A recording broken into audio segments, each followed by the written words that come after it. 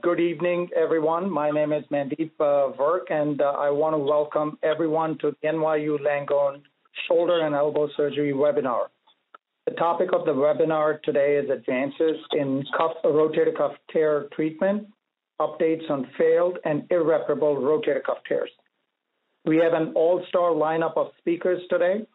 We are joined by Dr. Rokito, who's the division chief for shoulder and elbow surgery at NYU, and he's going to talk to us about principles and practice of uh, arthroscopic rotator cuff repair.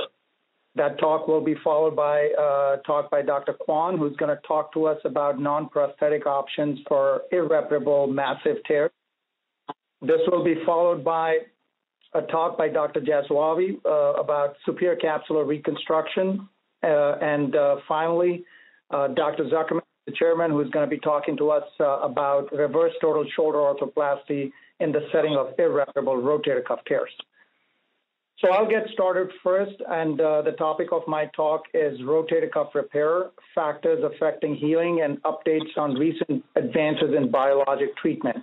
My updates are available on the AAOS website, and uh, there is no uh, relevant disclosure with respect to this talk today. Rotator cuff provides uh, dynamic stability and range of motion to the shoulder joint.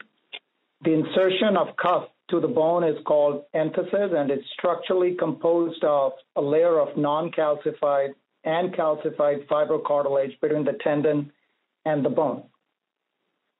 Rotator cuff pathology is diverse and presents a spectrum that ranges from tendonitis to a complete tear and cuff tear arthropathy.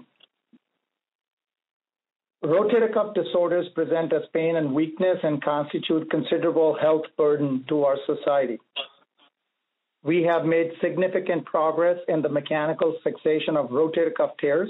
Consequently, majority of small to medium-sized rotator cuff tears heal after repair, but the healing rates in large tears are variable.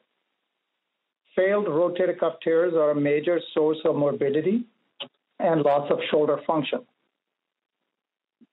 There are multiple reasons for failure of cuff repair, and this usually involves interplay of both mechanical and biological factors. From a mechanical standpoint, failure can occur at tendon suture interface and at the bone anchor interface. Presence of poor quality tissue, tissue gap formation at repair site, and repair under high tension can result in failure at tendon suture interface, which is by far the most common site of repair failure. Situations like greater tuberosity fracture, anchor pullout can result in failure at anchor bone interface.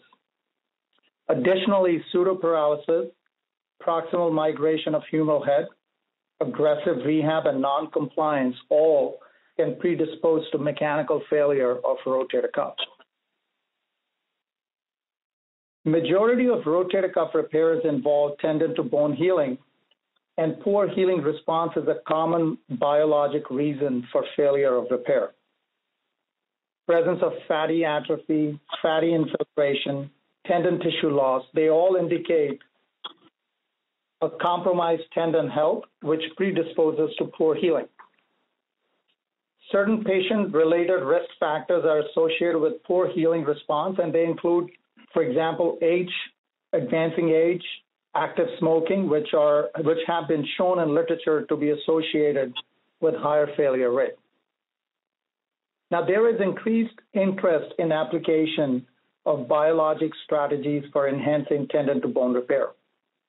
In order to make these strategies work, we need to have better understanding of healing mechanisms and know the key players involved in healing and regeneration of rotator cuff tear. Healing of a rotator cuff, torn rotator cuff occurs via three overlapping phases. The first phase or the inflammatory phase involves several cytokines, inflammatory cells, and progenitor cells, and is the prime target phase for majority of biologic strategies. Tendon repair and regeneration is interplay of progenitor cells and growth factors in presence of appropriate scaffold and blood supply. This concept has helped us stratify our strategies for biologic augmentation of cuff repairs. However, no surgical technique till date has been able to reproduce the highly organized structure at the enthesis after a rotator cuff repair. At the best, we get a modified scar at the repair site. Now, biologic strategies to enhance rotator cuff repair, they fall into three categories. They could be cell-based therapies, growth factors, and scaffold augmentation. In this talk, I will focus on providing updates on the first two categories. Numerous growth factors participate during various phases of tendon repair. These cytokines stimulate migration, proliferation, and differentiation of progenitor cells at the repair site. Unfortunately, no single growth factor that predominates the healing process has been identified till date for rotator cuff repair or regeneration. Investigators have tried growth factor cocktails in preclinical studies, but they are not as effective because they lack the temporal relationship and absence of counter-regulatory control of growth factors, which is very important in human body. So far, there are no clinical studies that have demonstrated efficacy with direct application of growth factors for rotator cuff repair. Platelet-rich plasma, as we all know, is an autologous biologic product derived from peripheral blood and contains concentrated platelets, which are rich source of cytokines and growth factors. Many of the cytokines that are involved in cuff healing are also found in high concentration in PRP, for example, TGF-beta, fibroblast growth factors, and insulin growth factors. Role of PRP in rotator cuff repair has been extensively investigated, and there are at least 18 clinical trials that have explored the role of PRP in rotator cuff repair. There is level one evidence that shows maybe PRP works as it is associated with lower re-tear rates and improved outcomes. At the same time, an equal number of level one studies demonstrate that maybe it does not work. There's no significant difference between PRP and control groups with respect to re-tear rates or other outcomes as shown in these studies highlighted on the slide. Recent systematic reviews point towards benefit of PRP on re-tear rates and short-term outcomes, which are superior to uh, groups without PRP. However, overall interpretation of these studies is difficult because of lack of standardization of the PRP preparation used in different studies. There is controversy regarding leukocyte poor versus leukocyte rich PRP, controversy regarding concentration of platelets less than three times the concentration or more than three times, controversies related to fibrin content, use of anticoagulation or an activating agent in the preparation. Additionally, delivery method for PRP is not optimized yet, and cost effectiveness has not been established. And all these factors further limit its widespread clinical use as of 2020. Let's move on to cell-based therapies. These uh, cell-based therapies include use of cellular agents that participate in repair via autocrine or paracrine pathways. Stem cells, as we all know, is the buzzword that everyone wants to hear as a solution for any kind of a biologic problem. The stem cells are, are of two main types, the embryonic stem cells and adult progenitor cells. For musculoskeletal regeneration, adult connective tissue progenitors are only approved. They can be obtained from sources like bone marrow, adipose tissue, and many other sources. They can be used directly after harvest with or without concentration like BMAC, or they can be expanded in vitro prior to delivery at the repair site. A progenitor cell can directly transform into a tenocyte, or these cells can release factors that transform the local pool of progenitor population and mature tenocyte when used at the site of repair. The least expensive cell-based strategy is the bone marrow stimulation or the Crimson Duvet technique that was popularized by Dr. Snyder. In this technique, the greater tuberosity is fenestrated to allow migration of progenitors from the bone marrow to the repair site. Although inexpensive, the true efficacy of this procedure is not fully established yet.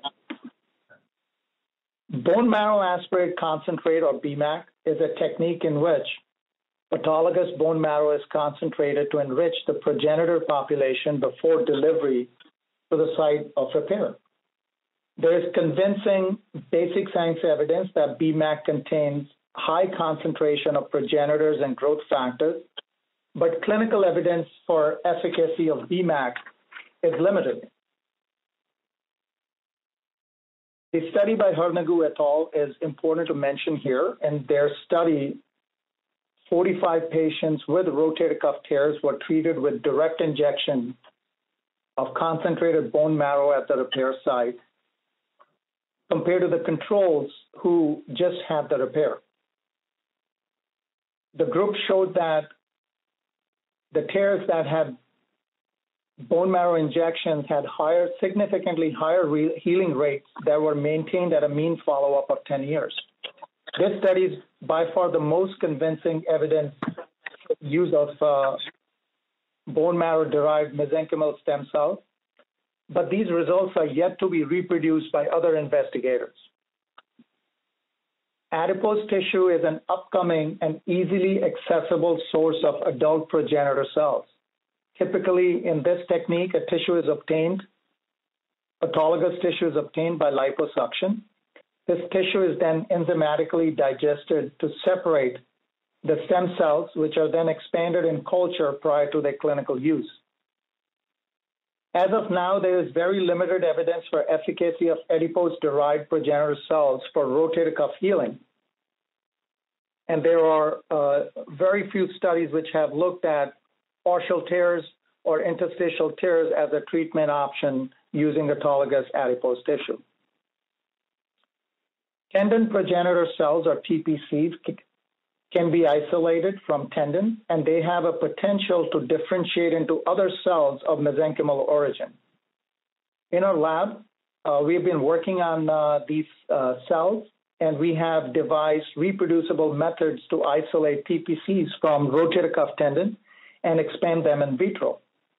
We have successfully isolated TPCs from rat rotator cuff tendon and muscle tendon junction and we have compared these progenitors to the rotator cuff muscle versus the adipose tissue and bone marrow.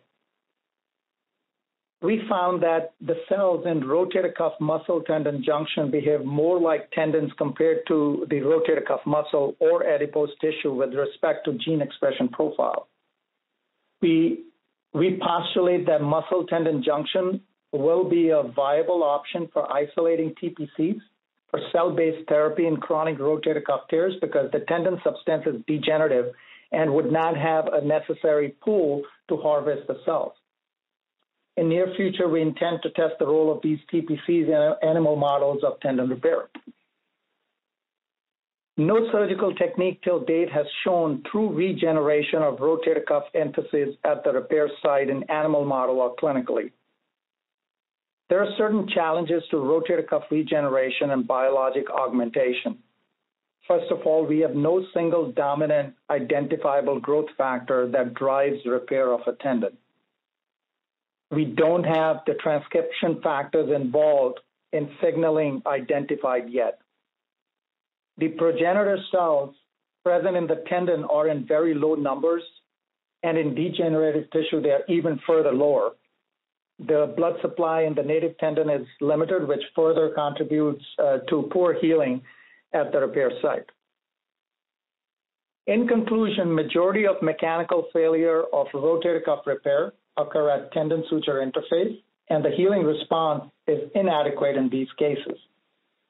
No surgical repair has yet been successful in reproducing the structural organization of rotator cuff enthesis and healing largely occurs by forming scar tissue. Inconclusive efficacy and lack of standardization of PRP preparation is a major impediment to its use.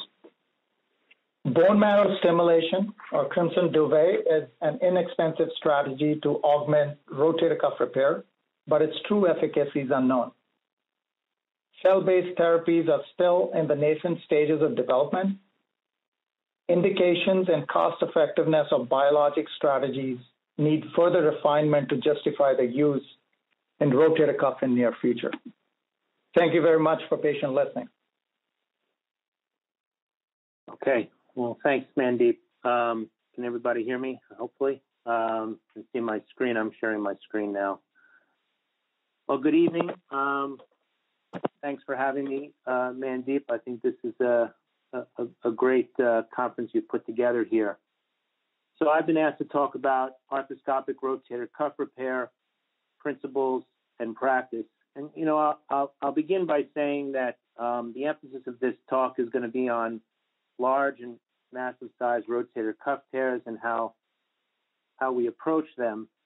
I will tell you that for those of us, including myself, who uh, basically um, in the beginning of our careers through our training program, and then in the beginning of my career, you know, we did these things, uh, made the transition from formal open repairs to mini open to all arthroscopic technique. For the younger members of the audience out there, you probably don't have much experience uh, with uh, open and probably mini open repairs. And I think to some extent, uh, that's unfortunate because a lot of the techniques that I'm about to show you are really just those techniques that have been adapted from the open techniques that we, we used to employ. The same basic principles uh, apply here, uh, just in an arthroscopic uh, format. So we'll begin with some very important evidence-based assumptions. Uh, first assumption is that with modern uh, repair techniques, repairability uh, really is not a technical question anymore. We, we can repair these very large tears that you see here on your screen and get uh, pretty good stable constructs at the, by the end of the procedure. We're going to define an irreparable rotator cuff tear for the purposes of this discussion as those uh, uh, those where the uh, the amount of fat exceeds the amount of muscle uh, on MRI scans. And then consequently, a massive rotator cuff tear is, is not necessarily an irreparable rotator cuff tear. Uh, for tonight's presentation, uh, the algorithm that we're going to look at is uh, that highlighted in red. We're going to be focusing on patients um, less than 70, although that's certainly not a hard and fast number. Um, patients with uh, less than uh, grade 2 fatty atrophy based on the Goutallier classification. So these are basically the five essential principles that I think are very important uh, to uh, to apply when approaching these very large tears. Um, mobilizing them through a juxtaglenoid capsulotomy, posterior superior release, anterior superior release, tenon to tenon repair in those tears uh, uh, where that is applicable, and we'll go over that in a moment, and then a secure tenon to bone repair construct. So beginning with the juxtaglenoid capsulotomy, um, this is uh, a technique which begins intra-articularly. Uh, you can see here um, a, a blunt elevator is passed between the adhesed cuff and the superior labrum. You want to keep in mind that the suprascapular nerve uh, lies as close as 15 millimeters medial to the supraglenoid tubercle, so you don't really want to be plunging this device and we're releasing from 10 o'clock to 2 o'clock. And that will gain you uh, a few millimeters, um, but very important to do to start to release uh, the adhesed cuff. In the subacromial space, we'll then begin with a posterior superior release, uh, performing it with uh, a blunt shaver. You can see here the adhesions in the bottom right, and the shaver is releasing the adhesions uh, between the cuff and the undersurface of the scapular spine and then using the blunt elevator, as you can see there, um, liberating the entire posterior inferior gutter. Moving on to the anterior superior release, I typically do that with uh, an ablation device that you can see there, um, followed by an elevator. And this release includes the coracohumeral ligament and the rotator interval capsule.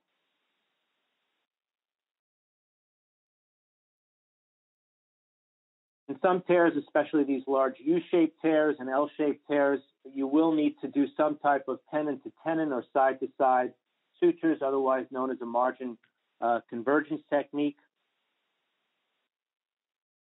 and then, of course, uh, following a, uh, a thorough bone prep, a secure tendon to bone repair. And the goal is to get something that you see here on your right, which is a secure uh, repair with uh, no uh, gap formation uh, at time zero. Just a quick word about tendon slides.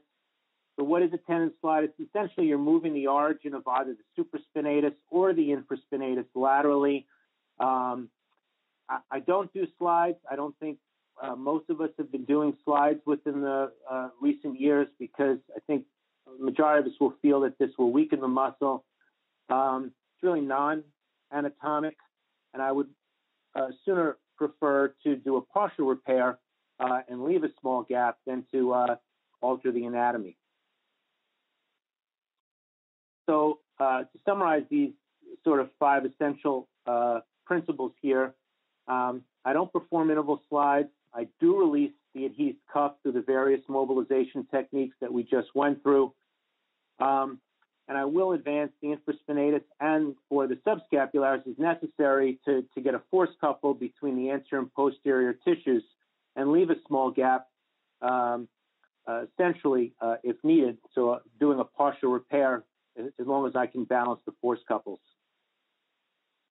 I think it's important at the beginning of all of these cases to spend the time to do a thorough examination and manipulation under anesthesia. You'd be surprised how many patients you've seen in the office, you bring them to the operating room and they're stiff. And I think that not doing this in the beginning sort of risks postoperative stiffness. So I think this is a very important maneuver and exercise to do at the beginning of every surgery.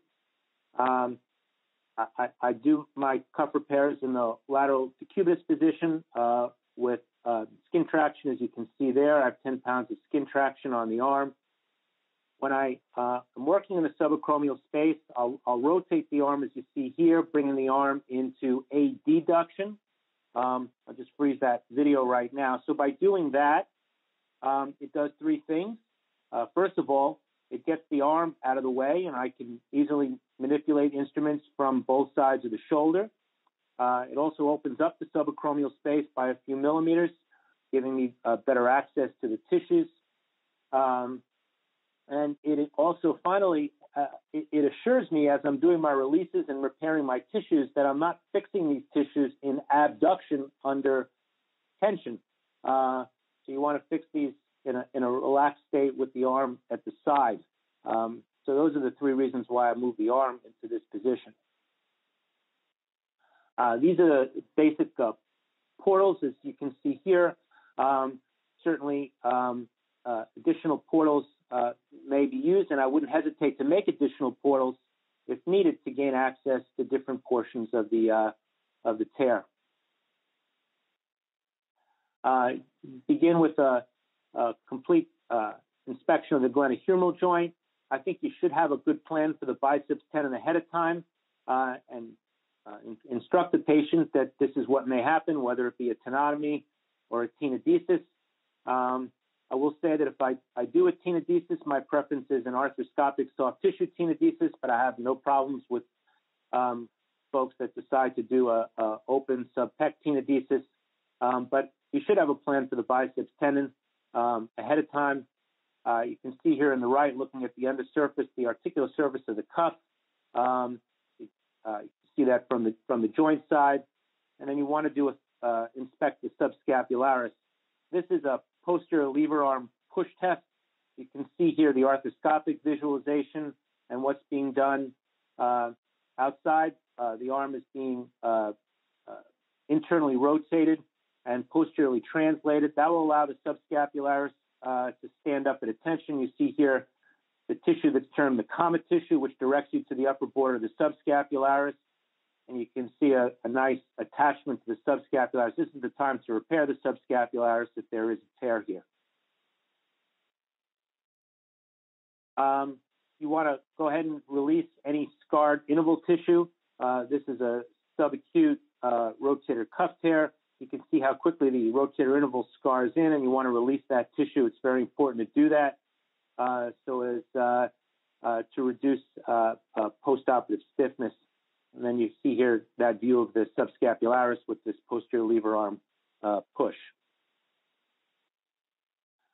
Uh, moving into the subacromial space, you do need to do a fairly uh, thorough bursectomy for a variety of reasons. You need to be able to visualize the entire tear, and uh, you, you, want to uh, remove this bursal tissue because it will capture your sutures and get in the way during your repair. Uh, this is just uh, going back into the joint, showing this uh, juxtaglenoid capsulotomy, um, a perilabral release. You see here we've released it just with a cautery first, and then passing that blunt instrument, and then back to the bursal side. It's very important uh, once you've cleared out all the bursal tissue and you, before you start throwing in anchors, uh, to uh, assess tear morphology. Uh, these, are, these are the basic uh, tear patterns that have been described. Um, be familiar with the various tear patterns, and it's important to visualize this through multiple portals because what may seem like a simple crescent tear looking from the posterior portal may actually be uh, an L-shaped tear, which requires a completely different suture uh, configuration or repair configuration. So you want to initially assess tear mobility and then go ahead and perform your, your releases as we discussed. Again, viewing from multiple portals and working through multiple portals.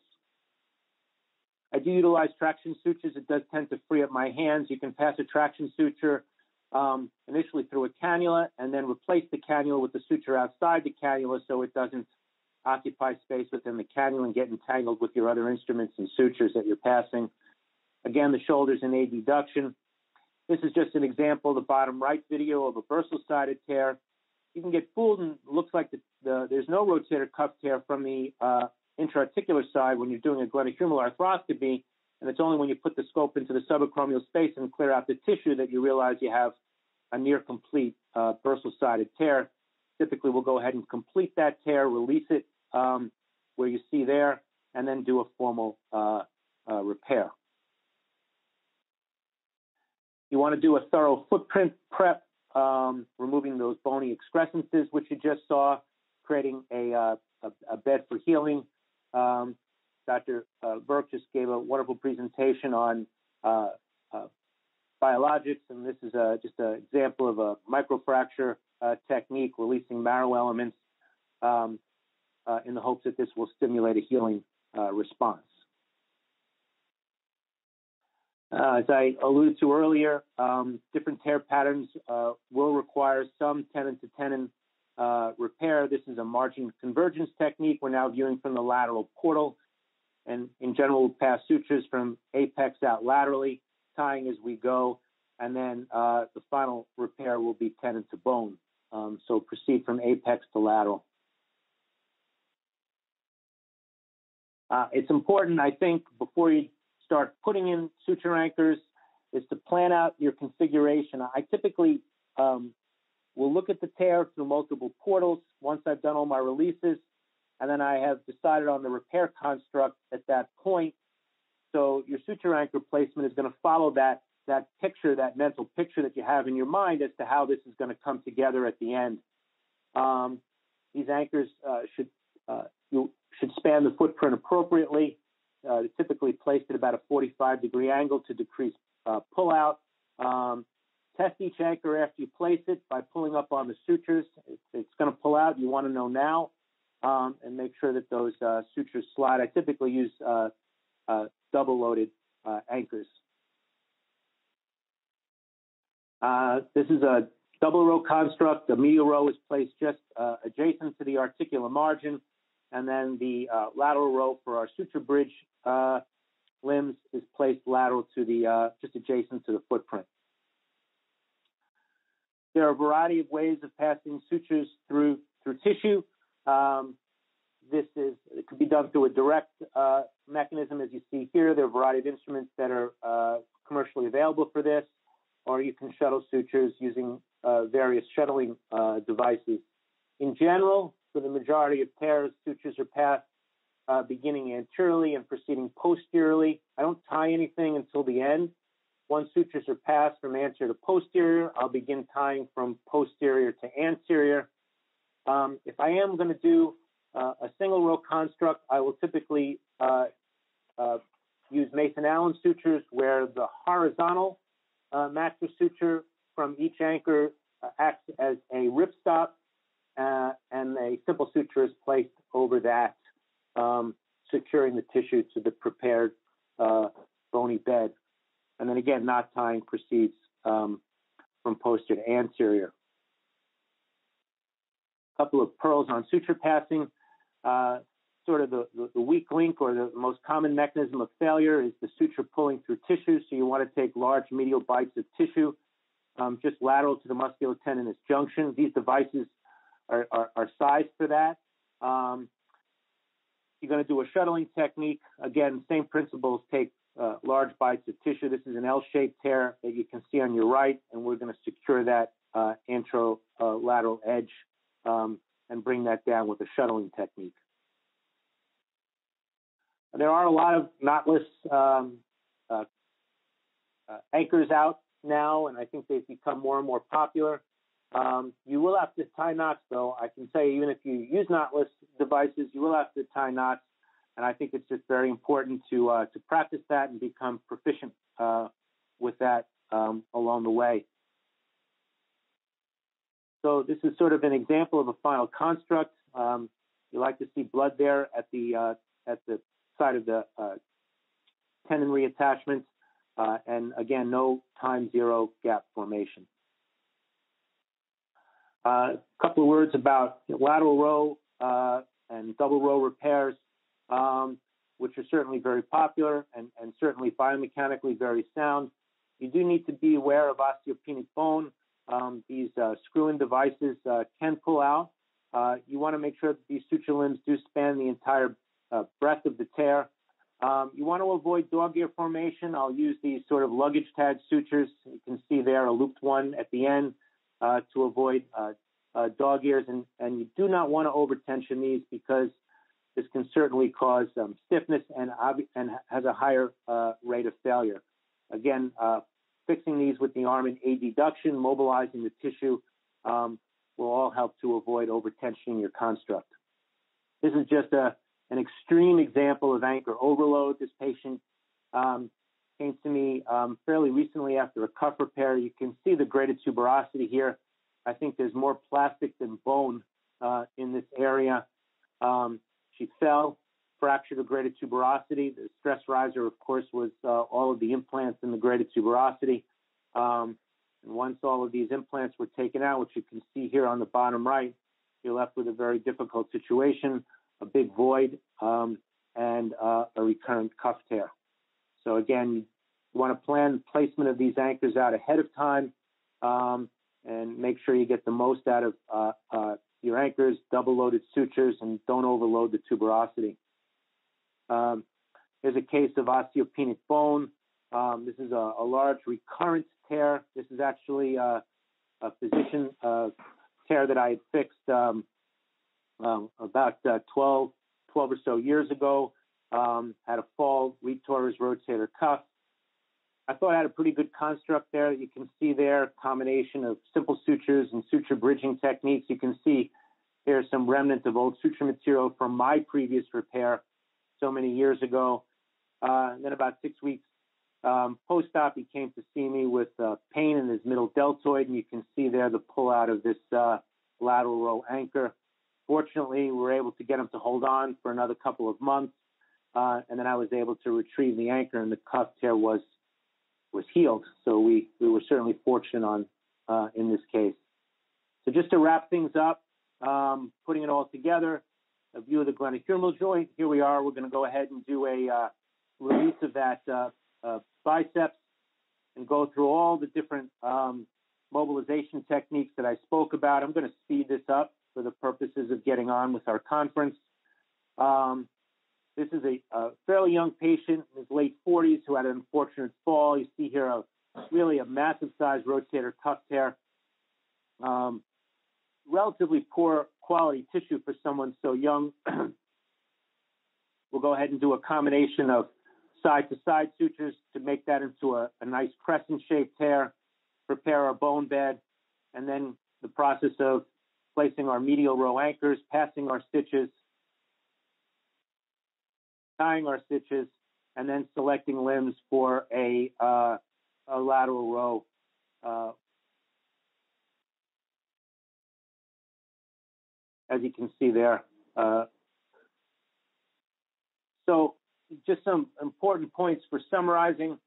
Um, really do need to identify these tear patterns, and the only way to do that is to put the scope in multiple portals. Don't rely on just keeping the scope in the posterior portal the entire time. You're definitely going to miss certain important characteristics of the tear that's going to have an effect on your construct. You want to do a thorough bursectomy and footprint prep uh, to create a nice uh, bed for healing. Spend a lot of time mobilizing, releasing, assessing, and then doing it again. Mobilizing, releasing, assessing through all of the techniques that I went through.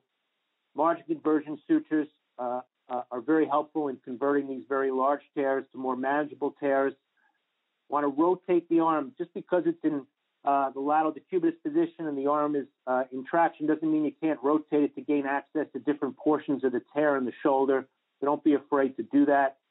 Um, and don't overcrowd your tuberosity with a lot of implants, um, placing the median lateral row anchors um, uh, as far apart uh, as, as, as, you can so as not to overcrowd the, uh, the bony real estate there. Thank you.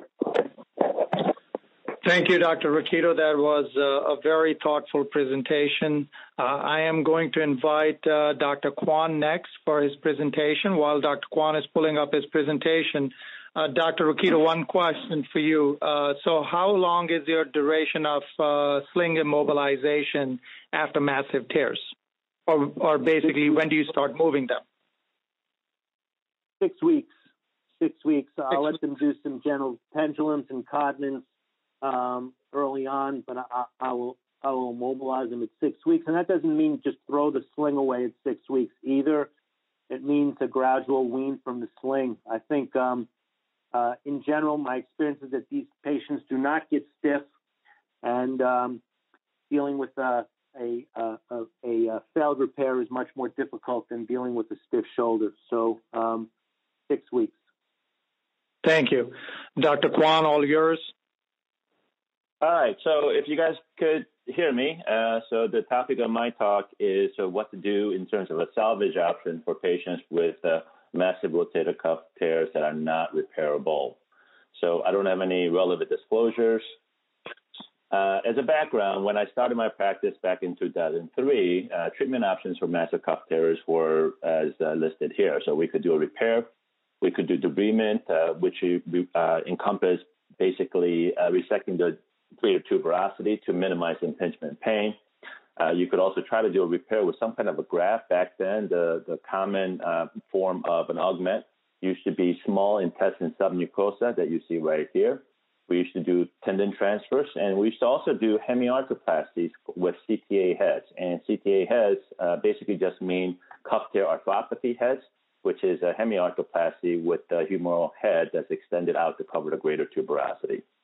Now, coming to this year in 2020, uh, things have changed, but things have essentially stayed the same. So really not a whole huge difference.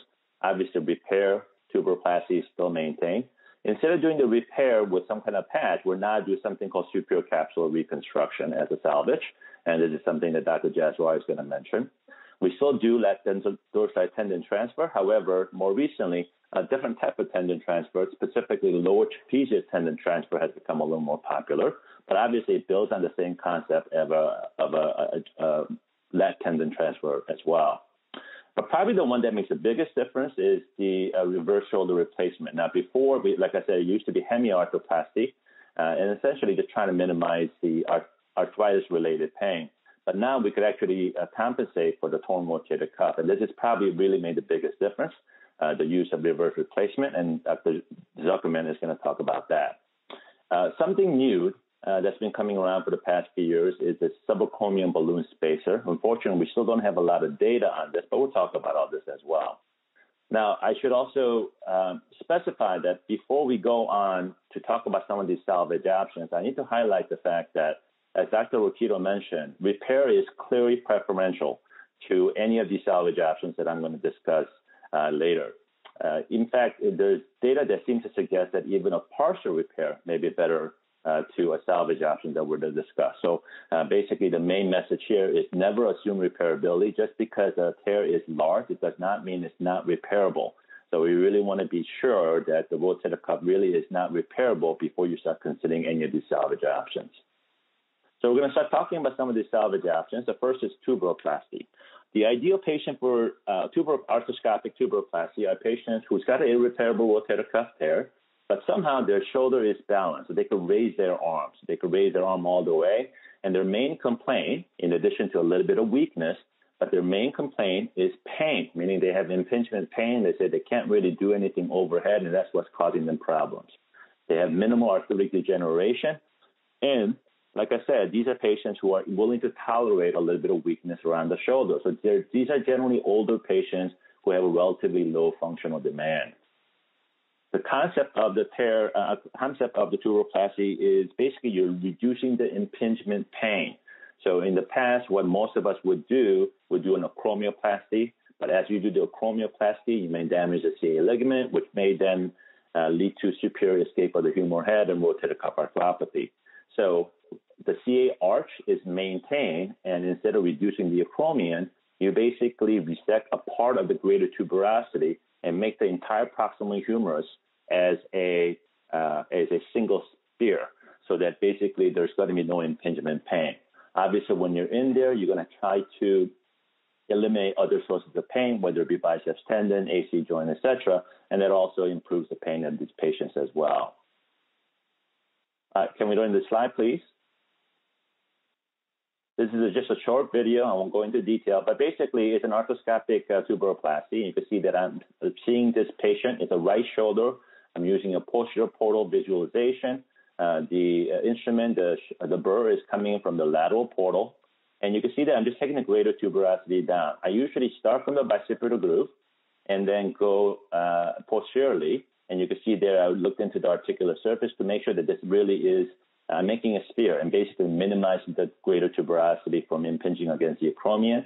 You carry that posteriorly until you start seeing the native or intact uh, rotator cuff. Now, this is a balanced shoulder where patients are still able to raise their arm. So, whatever rotator cuff that's intact, you want to make sure you do not violate that. All right, can we go back to the main deck, please? All right.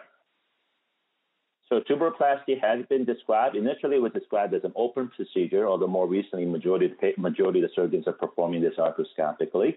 Probably the biggest follow-up, or at least the longest follow-up, uh, was the study that was uh, um, published by our Korean colleagues.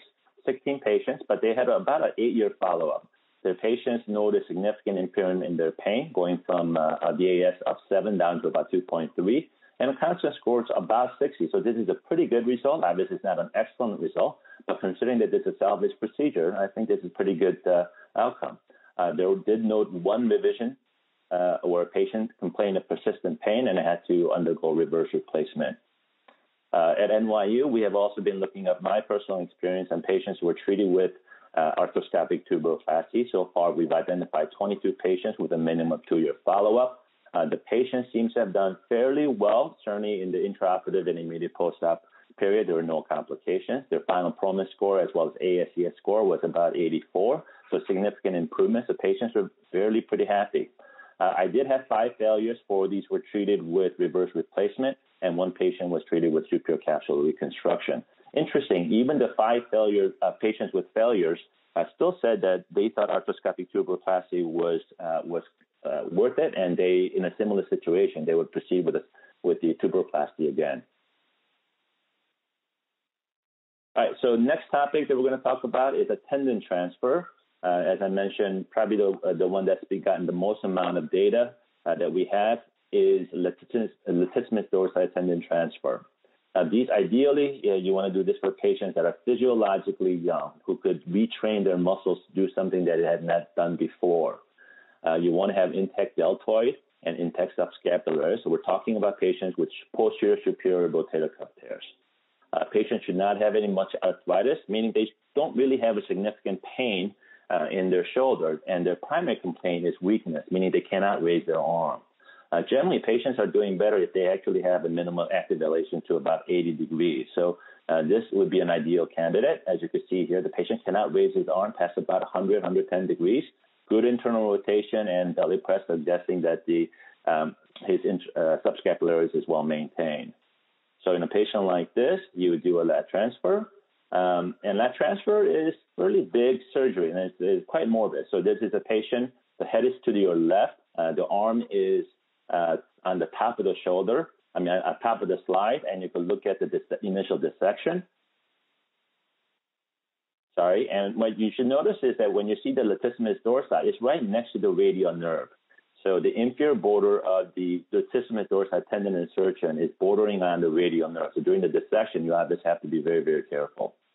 Uh, the tendon itself is fairly broad and wide, and once you harvest that, then you're going to make a second incision on top of the shoulder uh, for the rotator uh, for the rotator cuff around the greater tuberosity, and you pass the latissimus tendon from the posterior wound into the superior wound, as you see here. And once you do that, you just kind of fix it to the greater tuberosity.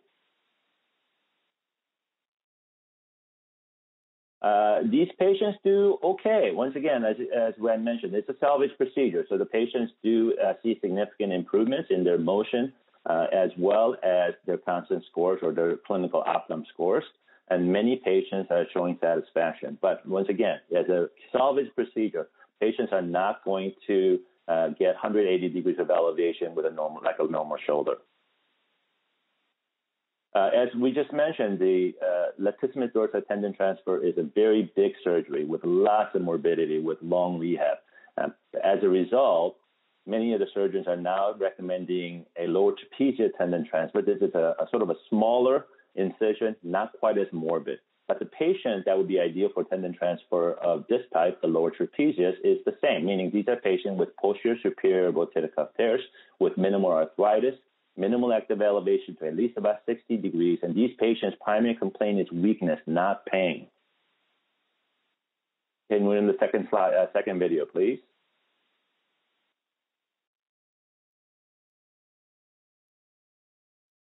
So this is a patient that I did uh, with uh, uh, lower trap tendon transfer. The patient set up uh, in a semi-sitting position. The incisions are pretty small, so that I do make a small incision uh, by the scapular spine and identify the lower trapezius. And lower trapezius is very easy to identify. It's one of the first tendon that you run into on the medial border of the scap- inferior scapular spine.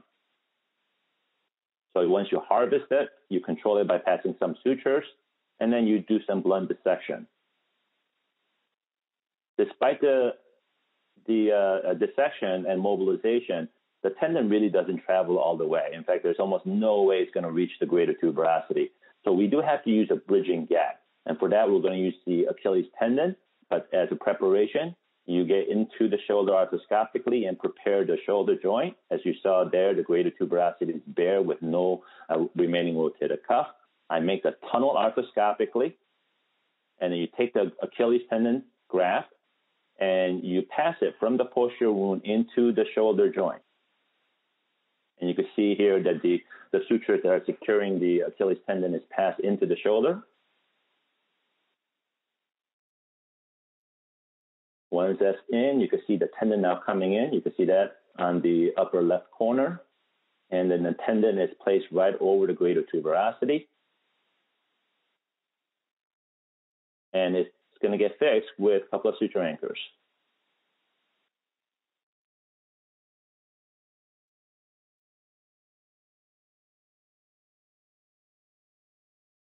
Can we speed the, up the, uh, the video just a little bit, fast forward a bit? Thank you. So once that's done, you take the Achilles tendon and you fix it to the latissimus uh, tendon that you identified. Usually I just split the Achilles tendon, pass it through the latissimus, I'm not the latissimus, the lower trap, and then basically tie, secure it with sutures. And unlike the latissimus transfer, uh, you'll see at the end here that the overall incisions are much smaller, and this is certainly not nearly as morbid as the big uh, lat tendon transfer, as you see here. Okay, go back to the slides, please. Uh, unfortunately, there is not a whole lot of clinical data. Probably the best data is from Elhassan at Mayo Clinic. He just published a study where he had 41 patients that were treated with the lower trap transfer. Fairly short follow-up was uh, only about a year. Uh, they did notice significant improvement in gross majority of the patients, and forward flexion went from 70 to about 130, and external rotation from 25 to 47. Once again, as a salvage procedure, the patients are now able to raise their arm above head and obviously, because of that, their functional capacity has significantly increased. Now, we should, they did also note that patients did have negative prognostic factors, meaning if they had Hamada grade 3, which means the proximal humerus, I'm sorry, if, which means that the humeral head had migrated proximally. If the patient has significant pseudoparalysis, meaning their active elevation was less than 50 or 60, clearly these patients did poorly. So overall, tendon transfers can, do have high morbidity, uh, but for the appropriate patient with prolonged rehabilitation, they can do fairly well. Uh, obviously, we have to understand that this is mostly to improve motion, and these are patients who generally don't complain of significant pain. So patient selection is quite quite important, and obviously, an ideal candidate has to be uh, uh to identified.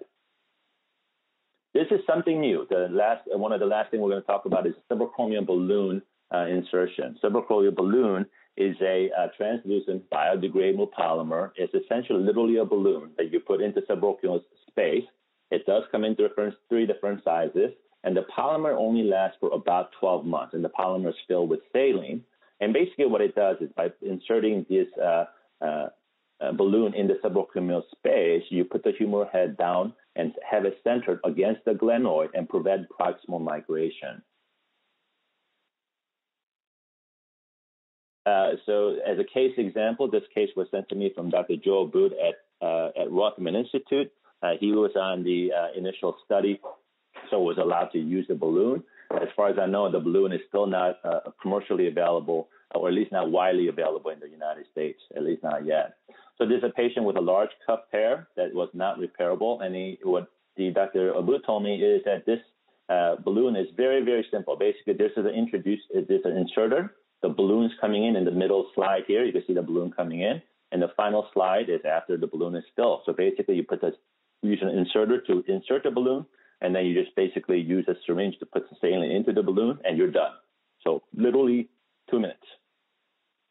Unfortunately, as I mentioned, there's not a whole lot of data on this. There's a lot of sort of small amount of data.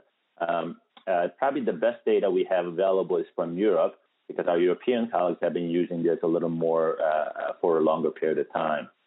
Um, there's a study that was published last year uh, with 46 shoulders with a balloon spacer with a fairly long follow-up of three years. The patients noticed significant improvements uh, in the Oxford Functional Outcome Score.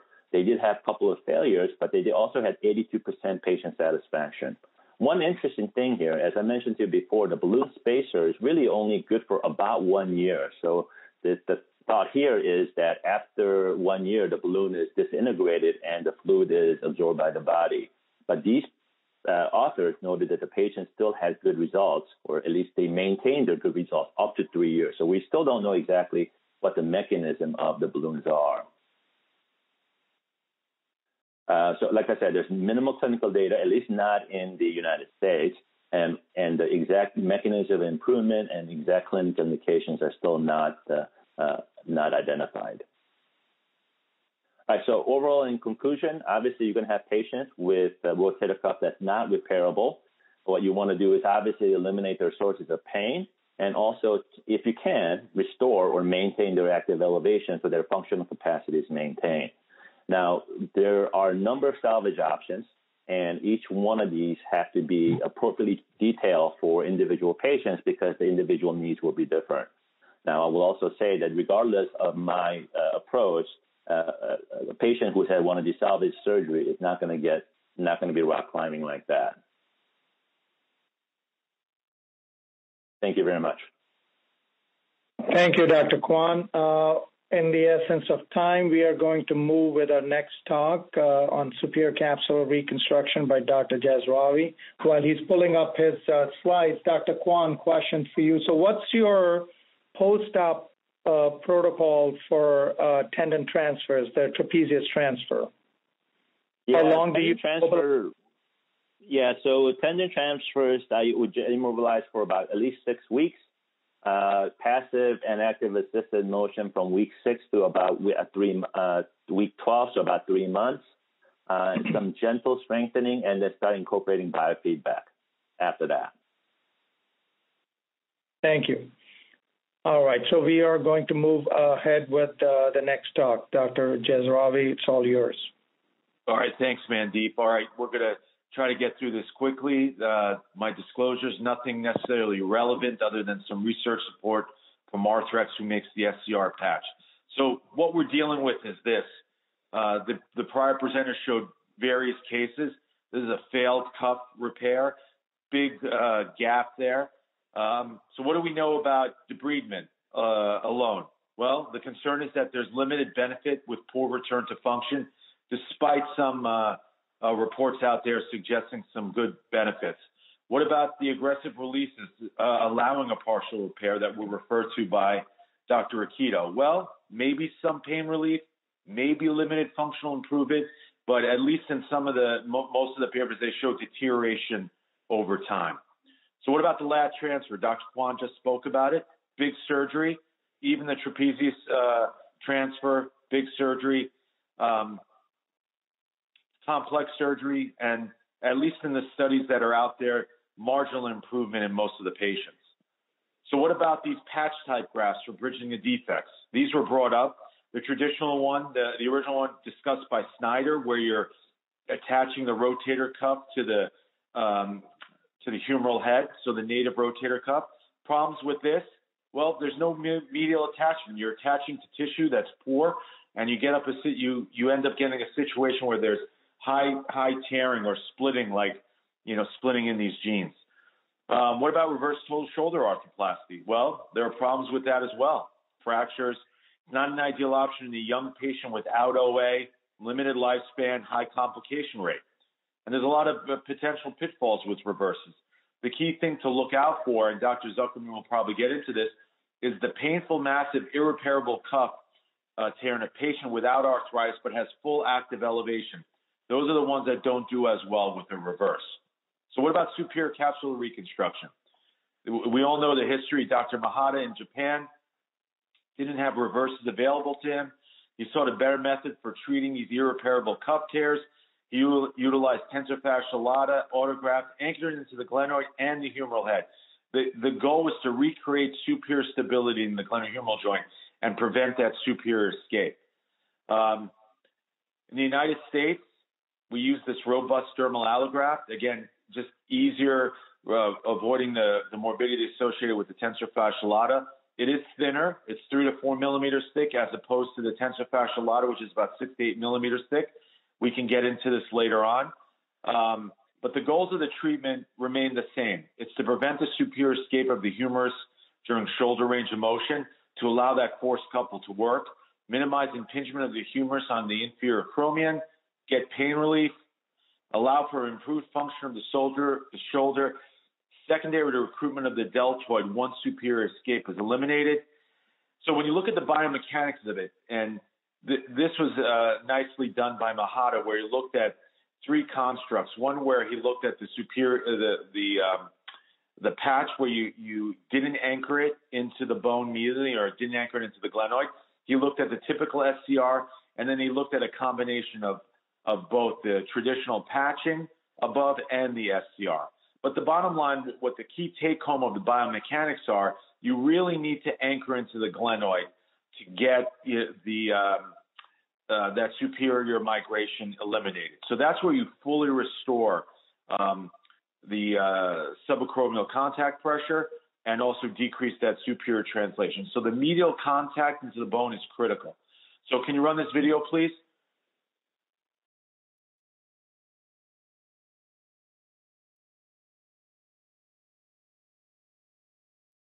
So I think everyone has seen this video, and the, the, the concept is that if you could see it, despite pulling on this and the tension, you really can't get that superior escape. But once you cut the patch, it just migrates superiorly very easily. And that's what we're trying to prevent with this, the superior capsular reconstruction. Okay, next slide.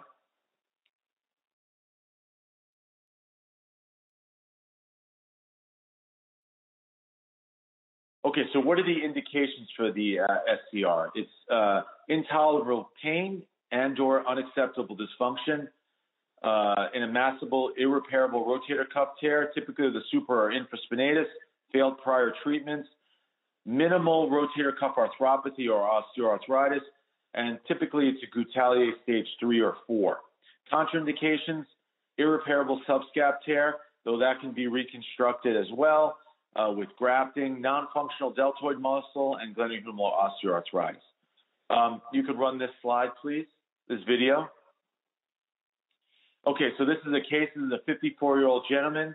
This is the diagnostic scope. He had a prior failed double row. We did a biceps tenotomy on him to start the case, and then we were getting set up to do the superior capsular reconstruction on him. Next slide. You could run this video. So the first thing you want to do is start to debride the area. And I think this is key. You really need to, need to get a good look at the glenoid neck, debride these old sutures out on the humeral head, and, and really get a clean bed so you can see what you're doing. Next slide. Uh, run the video, please. So the first thing, I, I, put my glenoid anchors in. So you really want to do this, get this uh, um, basically draping over the glenoid, both at the uh, uh, the one o'clock position and the eleven o'clock position. I use three anchors now. This was an earlier case of mine where I used two anchors. Um, you, you, put your swivel locks laterally, again, two with the tape here, uh, into the humeral head. Next slide. You can stop the video. Run the video. Okay, now I think the key part of this uh, of the uh, this procedure is really getting the the graft sizing right, uh, because you don't want to make the it, it, too tight or too small or or too big so it doesn't have tension. So uh, there are various devices out there that aid in, in doing this, and uh, the goal is to just do it accurately. Uh, run the video. Okay, now the next part is suture management. These are brought through the lateral portal and dock. These are the glenoid uh, anchors. And then now you've got your measurements, and the next step is to take the graft and cut the graft down. Uh, run the video. So there are a lot of steps to this procedure as you go through it, but the, the idea is to try to be as accurate as possible. And then once this is uh, cut, then you'll take this to the, you know, to the patient and to start passing the uh, the sutures through. I think the key is through that. Uh, uh, again, here's a shot where you're next to the patient. You can use a variety of devices to pass it through. This tissue tends to be thick, um, but you go through this sequence where you pass the uh, the medial sutures, the ones that are going to be on the glenoid, medially in a mattress type fashion, and then you, you, you pull these pull sutures through to allow the graft to be pulled in. You could stop the video, and then that's brought through the uh, portal. And then what you get, you could run this video. So now that you, you've got the graft in, you, you've done the pulley technique to pull it in, then it's all about, you know, tying these sutures on the graft. So you tie medially first, and then once you tie these medially and cut, there, there are various devices now that you don't even have to tie medially. These are the lateral um, swivel tapes that you'll then use to secure it on the uh, humeral head laterally. In the sake of time, we can move to the next slide, please. You could stop the video. Okay. Run the video. And then, you know, you talk about additional fixation, and we can get into this in the Q&A. You could see here, I'm attaching it to the, uh, the posterior cuff here uh, with the graft in place, and there's infraspinatus being sort of tied in. And uh, you can then do the same thing similarly anteriorly. Uh, you can go stop the video, go to the next slide.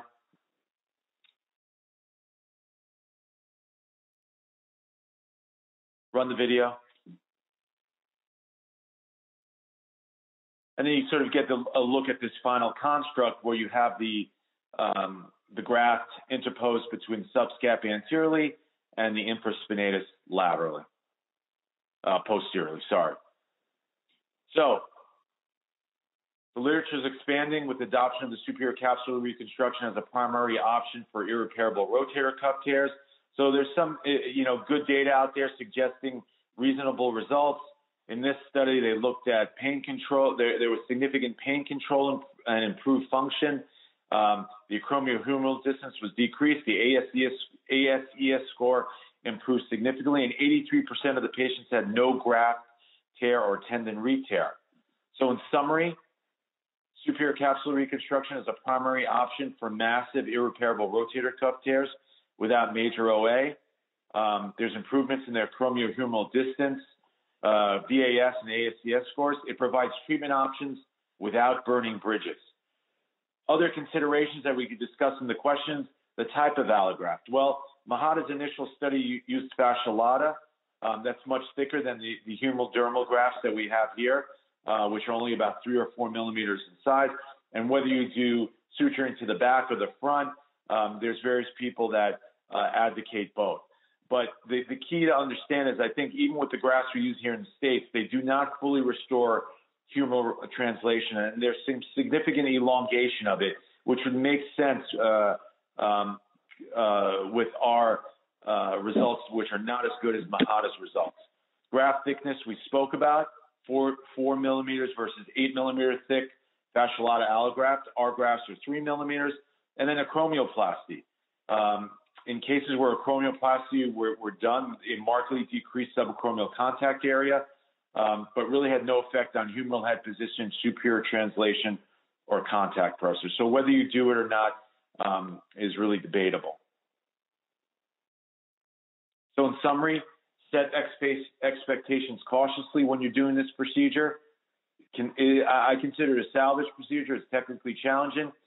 You should tell your patients that they should expect uh, reverse arthroplasty in the future. And uh, but my feeling is it can't be an alternative to, uh, especially a young patient without OA, talk, to a reverse uh, with an 18 to 20 percent, 24 percent failure rate in some RFAs. Okay, thank you.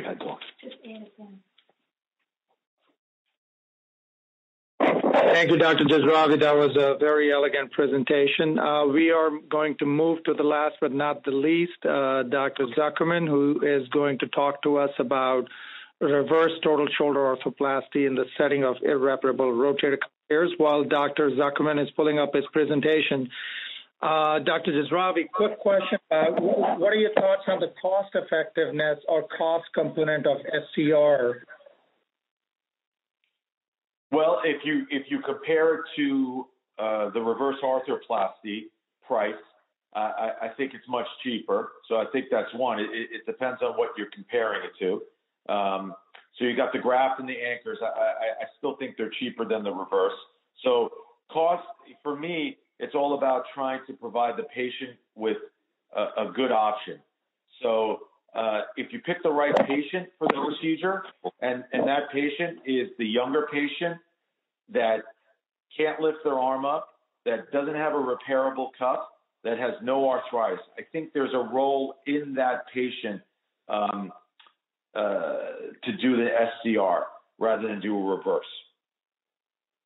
And uh, another follow-up question on that: Do you bill it as a rotator cuff? Is it billed as a rotator cuff repair, or uh, are there any other nuances to billing for superior capsular reconstruction? Yeah, I, I bill it as a rotator cuff repair, and then whether you do the biceps or, or not, uh, you could add that in. But uh, the you can also try it as an unlisted code, which I have not done. Thank you, Dr. Zuckerman. All over to you. Thank you, Mandeep. Uh, uh, Laith, perhaps you can bill it as a, a, part one of a reverse shoulder replacement. You know, that, that code would work, don't you think? No, I, I only true. said that because I, I, like I only that. said that be, because you were very, very negative on the reverse, right? Unnecessarily negative, I thought, but we'll, we, we will see. But before, before I start, uh, I do want to say that even though even though uh, I'm the chair of this department, I'm, I continue to be impressed by what people are doing. I mean, the, the, the science and the biologics, the technical aspects of the presentations here today are really, really astounding to me and very impressive. And I and I live in the middle of it, so I congratulate all my colleagues on not only what their talks, but their their great uh, their great uh, techniques that they're using, and that goes for Dr. Jazrawi also. So uh, I'm going to I'm going to talk about uh, the use of the uh, prosthesis as a, an option for massive irreparable tears. These are my disclosures relevant for my role as a design surgeon for a shoulder arthroplasty system. So, as was pointed out, before the development of reverse shoulder arthroplasty, the prosthetic options for patients with massive irreparable cuff tears really were limited to those with arthritis, in which arthritis was the primary source of pain. If you if they had pain, you had a good chance of relieving the pain that if that was the primary goal. However, if functional improvement was the primary goal, then oftentimes it was unpredictable at best. And as Dr. Kwon pointed out, the, uh, the role of hemiarthroplasty with the so-called cuff tear arthropathy head was utilized, but with, with not to any great success. And we had our own limited success. This is a paper we published a number of years ago. Uh, patients with rotator cuff arthropathy right? Different than what we're talking about hemiarthroplasty. And in a limited goals way, the patients were satisfied, but by no means very good. So to put this in context, when you consider arthroplasty for rotator cuff tears, there are three clinical scenarios. The first is what we're going to talk about here the massive irreparable rotator cuff tear in the absence of arthritis. The rotator cuff deficient shoulder with arthritis or cuff tear arthropathy is a completely separate topic. So we're going to focus on clinical scenario number one. So what does that mean? These are patients with multiple tendon involvements, uh, a, uh, uh, massive tear, retracted, chronic in nature, often with severe atrophic changes greater than, than grade 2 Goutallier uh, classification, oftentimes with significant functional deficits, possibly previous rotator cuff repairs, and minimal or no arthritis. Now, the spectrum of how these patients present can be quite variable, as you've heard from the previous speakers. They're not created equal. You'll have patients with different range of motion, different levels of pain. Their age will differ, whether or not they've had previous surgery, and what their expectations are with respect to the outcome of their surgery. So I like to look at the two different patient presentations. Let's look at patient A. Patient A is the patient who presents with, again, a massive rotator cuff tear, no arthritis, irreparable, one with pseudo paralysis, severe disabling pain, older, 70s, 80s, 60s, in that range, with a sedentary lifestyle. That's one presentation. The second presentation, patient B, comes with excellent range of motion, maybe even near full range of motion. They may have disabling pain, quite significant pain. They're younger. As a result, their expectations for activities is much higher than it would be from, from patient A. Patient A and patient B are much different. So, with any clinical situation, you need to really understand the patient, understand the clinical findings and the results of the imaging studies, and the implant options, which in this case is really to do or not to do a reverse shoulder arthroplasty. The options uh, are listed here, but they're limited, but I think it's worth going through them at least for historical value. Hemiarthroplasty, the modified cuff tear arthropathy head, or a reverse. So if you do a proximal replacement for a patient in this category, it's not going to provide stability. You oftentimes still get anterior superior escape. It will not restore significant improvements in active range of motion, with rare exceptions. It does not provide pain improvement, right, if they don't have significant degenerative changes, which is this category. So it's really, for these patients, hemiarthroplasty offers little, and consequently, a cuff tear arthropathy head often doesn't uh, also doesn't offer anything because although in theory it was a nice idea, if you if you scour the literature, you will find little, if any, evidence that this offers any advantage over a hemiarthroplasty. And then there's the reverse. The reverse, in spite of what Dr. Jazrawi has said, has become the treatment of choice for patients with massive irreparable rotator cuff tears who have failed all other treatments. And everything you heard before uh, today whether it be attempted primary repairs, tendon transfers, and superior capsular reconstructions, patches, all those things are, are important aspects of the armamentarium. However, at some point, the decision is made that they're not going to, it's no longer been successful, has not been successful. And at that point, that's when you consider a reverse. So, an example is this 67 year old uh, patient with a massive cuff tear only, no arthritis, a reverse was an easy decision in this person given his age and sedentary lifestyle. Now, when you look at patient A versus patient B, remember A, older, sedentary, disabling pain, pseudoparalysis, B, much more functional, the clinical outcomes can be uh, somewhat different. There's a number of articles that have been that have been uh, published, and I want to emphasize that these articles represent, I think, the early results of reverses in patients in this category. This uh, article by uh, Boileau and Walch 42 cases after failed rotator cuff surgery. Those with pseudoparalysis, uh, in other words, those with less than 90 degrees of forward elevation, excellent results. Only 7% were dissatisfied. However, those with active forward elevation much higher than that, they actually lost range of motion afterwards, and 27% were dissatisfied. The message here is in patient B, that spectrum, you have to be very aware of the outcomes, right? And because those patients have a high high probability or risk, let's say, of not being satisfied. In this article, uh, as well by Frankle, similar again early on in the process with the Frankle prosthesis, in which he had a large complication rate primarily because of implant design, but in this patient population, a high rate of base, base plate failure, which I think is more indicative of his initial design, which was became greatly improved as opposed to the uh, underlying diagnosis. Another another uh, study, a longer term follow up by Gerber. I mean, would you recommend an operation with a 37% complication rate and a 15% failure rate? No, of course you wouldn't. But I think we've come a long way from here with this patient population. And another study by Frankle indicates that uh, risk factors for a poor outcome in this patient population were younger patients and those with better preoperative function, which are which is a recurring theme throughout this. Now, I will tell you that uh, before I go over my approach, uh, we're in the process of reviewing about 200 patients who underwent a reverse shoulder replacement for irreparable rotator cuff tear in the absence of arthritis from our multi-center database, and the results have been uh, have been as successful as those who undergo the same operation for rotator cuff arthropathy with a similar complication rate. So I think some of the early results that I showed here are no longer indicative based upon advances that have been made, not only in implant design, but also in patient selection.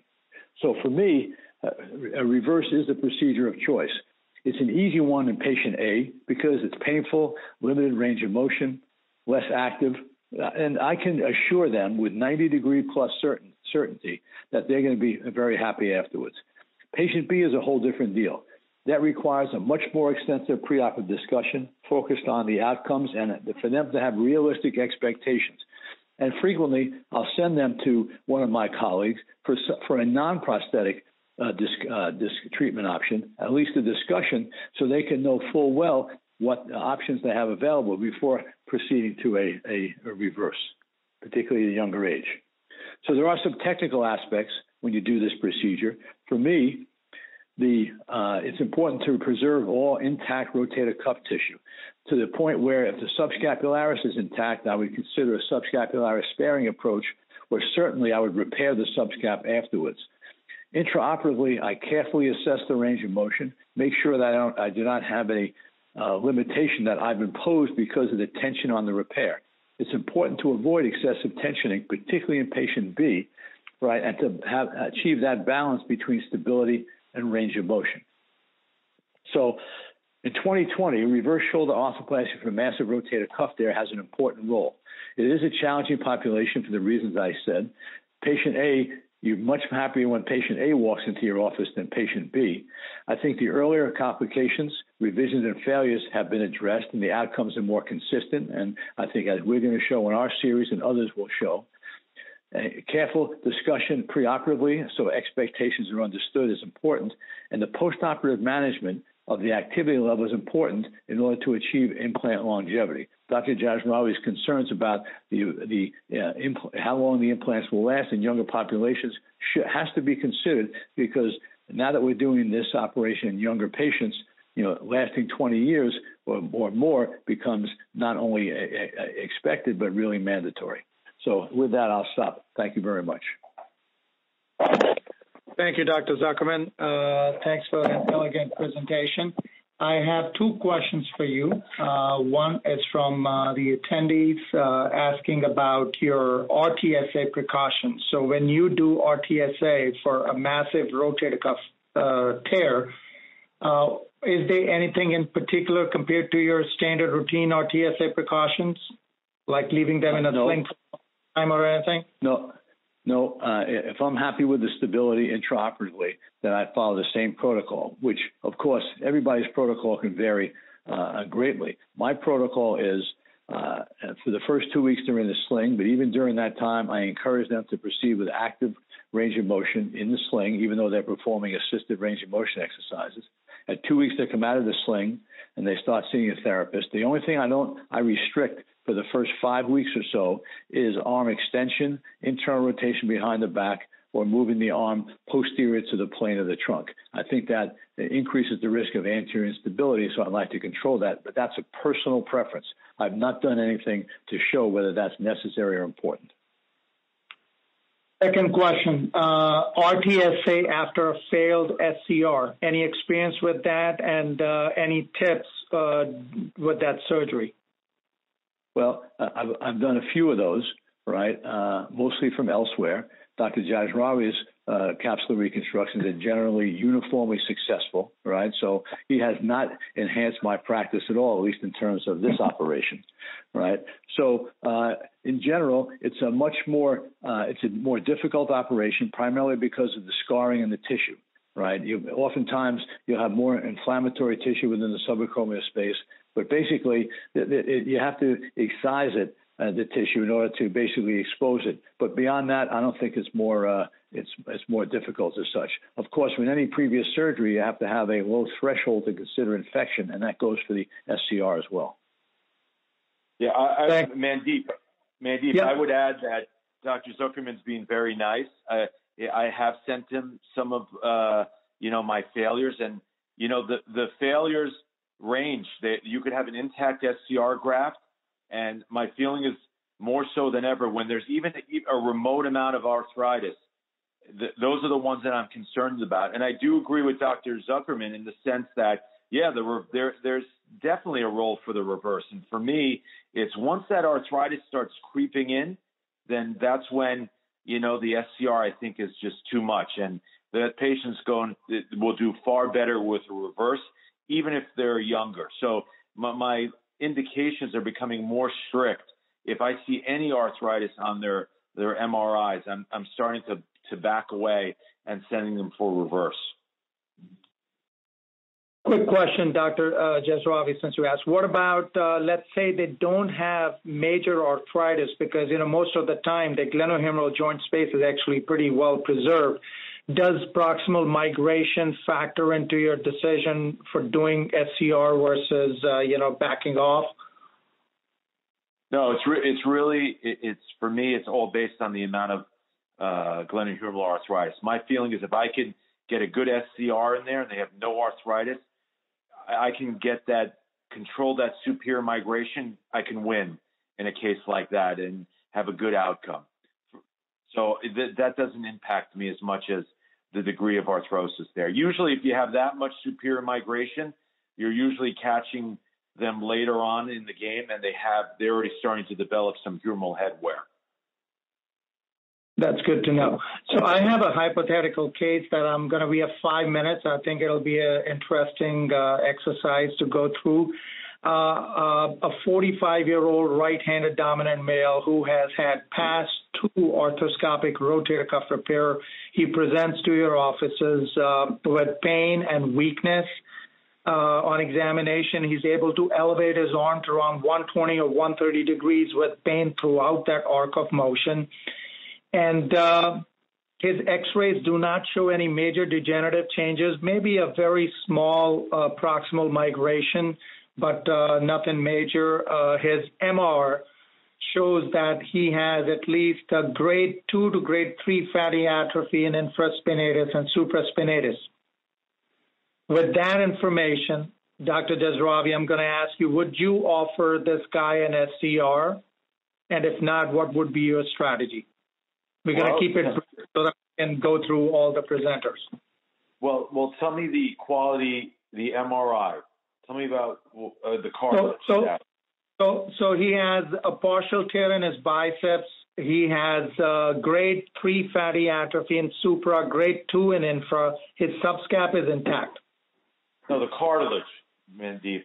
The cartilage is okay. He's got uh, he's got uh, you know no no focal cartilage defects, no cartilage thinning. He's young, 45, manual labor. Okay. All right. Yeah, for me that's that's a good you know case for an SCR. That I would speak to him about it prior to to a reverse. Dr. Rokito, would you would you go in for a third arthroscopic repair, or what would be your approach? Like, can you give us a run through about this case in your practice? Uh, his primary complaint is pain uh, and weakness. Is he's got yeah. he's got good. He's, okay. Well, he's able I mean, to go up to like 130, but he he's just like annoying pain. Yeah, I mean, without looking at the imaging studies, based upon the description you gave, I think I probably would scope him, but I'd have the conversation that maybe doing a superior capsular reconstruction. But if there was repairable tissue there, uh, I may, I may, I may do a repair and then uh, augment it with uh, some type of uh, uh, biologic patch uh, on top of that to try and give him one more chance. He's 45; he's very young. Um, I, I, don't think I would do, do my best to get him to do well with his own tissues in in terms of setting his expectations, what, do you think uh, setting his expectations will be an important part of the discussion as well? Because you know most of these repairs that are going to happen at his third surgery are going to be more of aiming for pain relief. Is that correct? Appropriate to say? Yeah, of course. I think this is a patient that you're going to follow for a long period of time. Uh, uh, at some point, I think you have to prepare this patient uh, for the, the, fact that they're probably heading for some type of arthroplasty uh, down the line. But you want to get him. He's 45 years old. He's young. You, you, you want you want to get him another decade if you can or more. Uh, so you're going to do what you can to make him as comfortable as he can. And if it's with his own tissues, uh, all the better uh, before considering an arthroplasty. Dr. Kwon, tuberoplasty or tendon transfer? if he's a manual labor, a tuberoplasty probably would not going to be enough. Plus, he can't active elevate to 160 170. He could only elevate to 120. So tuberoplasty is not going to give him more active elevation. Um, and because of the pain, he also would not be a great candidate, great candidate for tendon transfers. And obviously, he's too young for a reverse. So basically, in this guy, at least unless something else is up that I, I'm not recognizing, I would probably have a conversation about going in arthroscopically, doing an examination, see if I could do any repair. If I could do a, either a complete or a pretty close to complete or you know high degree partial repair, I would do that first. But if I but I would go in with the idea and having the patient being informed that if the tissue is bad and it's not repairable, then at the same setting you would get an SCR. So we'd have the SCR in the back table available to go. Dr. Dr. Zuckerman, the patient gets an SCR from outside and uh, doesn't help him with pain. His range of motion doesn't improve. Is there any indication in your practice for a guy young like this where you would offer a reverse after two failed arthroscopic repairs, failed SC repair, SCR, and he's 45? Yeah. So uh, yes, there is right? I think in, once you get uh, down below a certain age, you have to make sure you exhaust all non-prosthetic options. If that's if, if that's been unsuccessful, right, then I think there is a role for reverse. I, I have right now I have no no lower age limit for people I do reverses in. Right. In this particular category, there's a lot of different options, right, that you want to make sure you utilize. But if they failed all that and they've got uh, significant functional limitations and pain and such, I mean, these are not patients who are going to come in with excellent range of motion. Once they've gone through this, they're going to come in with, with significant disability. I think it's a good option, right? And I, I wouldn't hesitate to do it.